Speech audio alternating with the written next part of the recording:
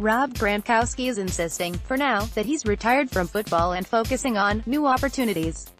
But one of the oldest speculated destinations for his post-NFL life has popped up again, with nothing to diminish the talk. From our friends at NBC Sports Boston, via TMZ.com, WWE Chief Brand Officer Stephanie McMahon said the wrestling promotion would happily welcome the former Patriots tight end. Anybody who has a real big personality, McMahon said. I'd love to have Gronk in the ring.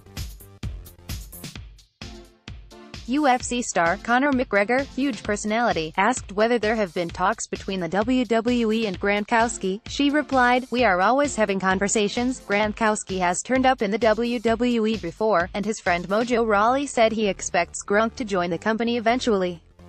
And with WrestleMania happening tonight, the WWE certainly isn't going to do anything to dissuade some free promotion.